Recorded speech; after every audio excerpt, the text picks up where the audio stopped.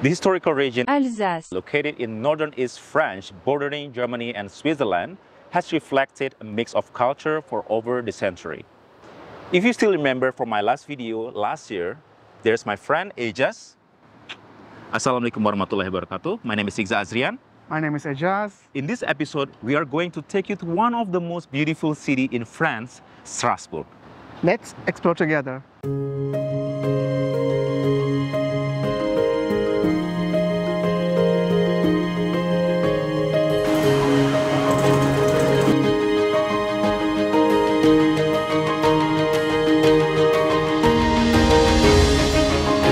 So now we are in Petit France. In English, we call it Little France, where the area of Grande Île. This place used to be called the Venice of the North due to its narrow streets and canals, which makes you feel back to the medieval of Strasbourg. I think we come a little bit too early because normally in the summertime, the city decorates the fences with a lot of colorful flower.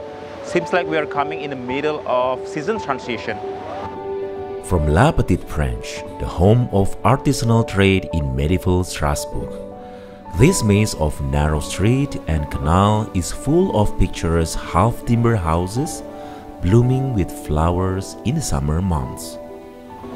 It is a lovely place to do some beauty shopping, have a cup of coffee or just relax in one of the waterside parks. So now we have arrived in the front of Notre Dame Cathedral, but the building what you see behind is one of the most famous building in the whole Strasbourg called Kammerzell House. This building is one of the most well-preserved medieval city house building from the late Gothic architecture. What I mean by Gothic architecture, this is what, what we're going to see next.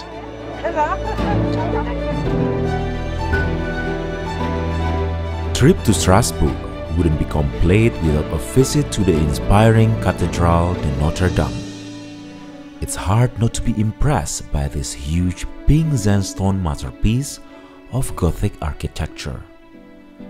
Its 142 meter spire made it the tallest man-made structure in the world for over 250 years. And if you are feeling fit, you can climb the 333 steps to the platform below its tower and admire the stunning views of the city from this lofty vantage point.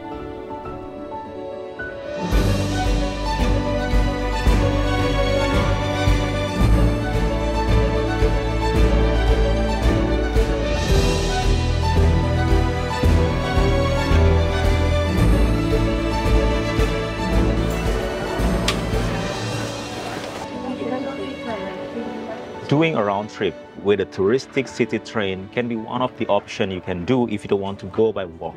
And also at the same time, give you more information about the historical building around.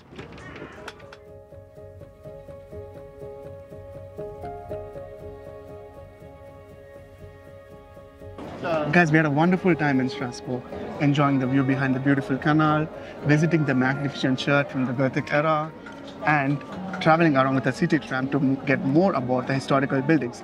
Of course, we want to end our day with a beautiful cake and the cafe. So if you like the video, press the like button and subscribe to the channel and see you again in the next video. Bye-bye.